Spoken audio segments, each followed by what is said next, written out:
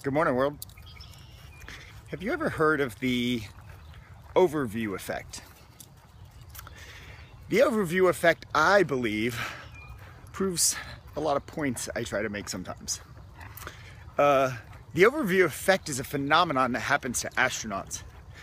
They go up into space and they see the world from way on high. And when they do that,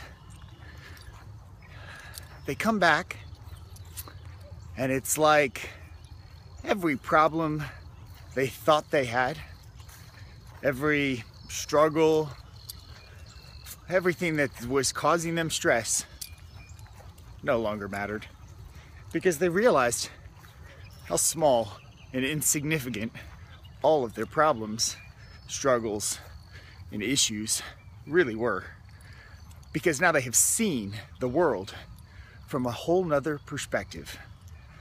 In a way, you could say they have elevated their thinking because they elevated just the perception of the way they say, the way they saw the world.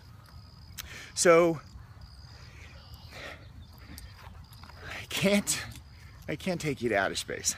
Not yet. I'm working on that. Um, but I can help you change your thinking to a higher level. Elevate your perspective. Listen to me, they come back and they're stress free for six months. They just, just, life is perfect. Every little issue doesn't really matter anymore. And it's not that it doesn't matter, they just realize that it's small and inconsequential.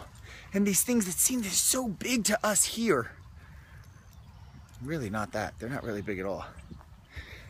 So, so, so what's my point? My point is, uh, all the stress in your life is perceived stress. It's not real. It's not real. You've made it as real as it is.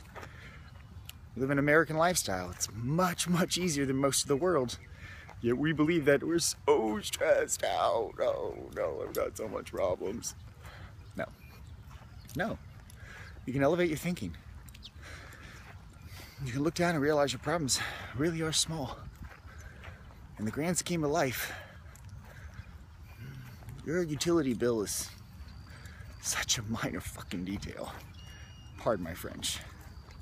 And why is bad language French? Is that just an American thing? I don't know. Anyway, uh, if you don't make time for your wellness, you will make time for your illness.